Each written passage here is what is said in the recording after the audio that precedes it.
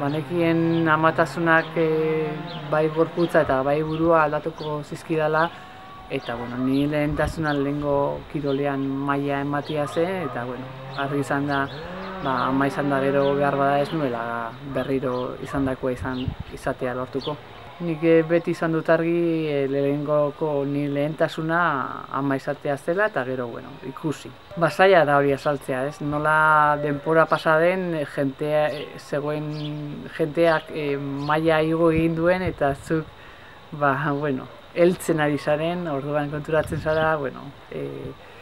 ba, depora horrek e, zuri kalte egin dizula eta beste batzuk e, aprobetsatu egin dutela orduan. E, nik uste dute beti egongo dela jentia kritikatzeko prest e,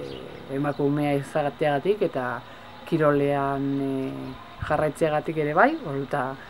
eta ba, amazarenean asko zer egiago. Hogetan mazazpi urterekin izan nintzen ama eta bueno, denpora asko itxaron da gero jagarki neukan ja, eh, ja heldu zela, ez, adina maizateko eta batez ere, ba, bueno, kirolean bizi izan nuelako nire momentorik honenak.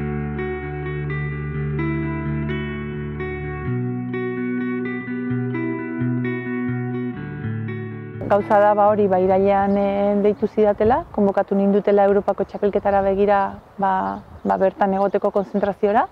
eta bueno, ba, konbokatoria izan zen momentuan, ba, aurrak bederatzi jabete zeuzkan, bertara joan nintzen, ba, aurra zainduko zuen norbaitekin eta aurrarekin, eta, bueno, ba, proba individuala beste txirrindulari batek egingo zuela esan zidan, joan aurretik ere, eta, bueno, ba, ikusita, ba, bikotearekin, ba, berde ginala teknikoki, Europako txapelketa batetara joateko, ba, nire eritzia horregon zen, esan nien ez nuela e, ikusten gai izat, ez gineala gai ba, behar bezalako maila emateko Europako txapelketan, eta noski ba, niri egoera hark ba, sortzen zizkidan ba, gaztuak eta egoerak, eta bueno, ba, ba, ba, bai egoera tekniko eta bai egoera pertsonala izan ziren ba, nire erabaki hartzeko garaian, ba, bisua izan zuten bi, bi arrazoiak. E, erronka handia zela niretzat e, lehiaketara bueltatzea, goi mailako lehiaketara bueltatzea, eta garbi neukan ba, bueltatzen ba, nintzen ere, ba, nire mailarik onena emateko zela eta lehiakor izateko zela. Bai, gauza da, ba, bueno, txirrendularitzara ere berandu iritsi nintzela, hogeita sei urterekin, eta bueno, ba, nire kirol bilakaera ba, ba, ondo joan da denbora guztian emaitzak beti laguntzen zuten, eta bueno, ba, beti nemilen borroka horretan, ez, zeren eta mundialetik mundialera, ba, ez nuen hortarterik ikusten, ba, amatasunari ere tarte bat egiteko. Eta azken finean, ba, bueno, gauzak okertu zirenean, ba, Rioko bidean, en, horrela sentitu nuen eta horrela pentsatu genuen, ba, egia esan nire buruari ere askatasuna eman diot eh, alde horretatik ba, en, entzuteko eta bueno, azken finean ba, gauzak benetan sentitu arte eh, ez ditut, ez ditut egin.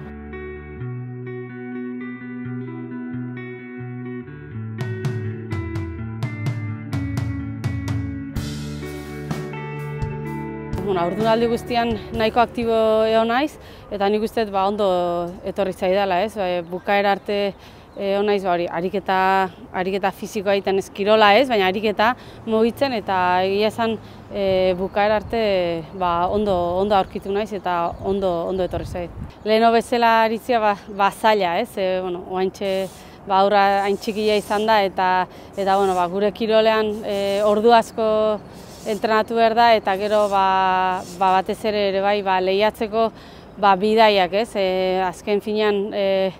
ba, ia beti kanpoan egotea exigitze izu, ze bueno, serie mundialak ba, bueno, e, asko dira eta munduko ba, leku, edozein lekutan, orduan ba, bidaiatzeko ere ba, hainbeste denbora ba, kanpoan egotea ba, benetan zaila da, ez? Orduan, bueno, behintzat leheno bezala ez geho beste gauza da, ba, bueno, lehiak eta batzuk aukeratuta, baina bueno, handikan e, aurrerekin e, ritmoa hartzen, ohitzen eta bueno, presarez dena izartu.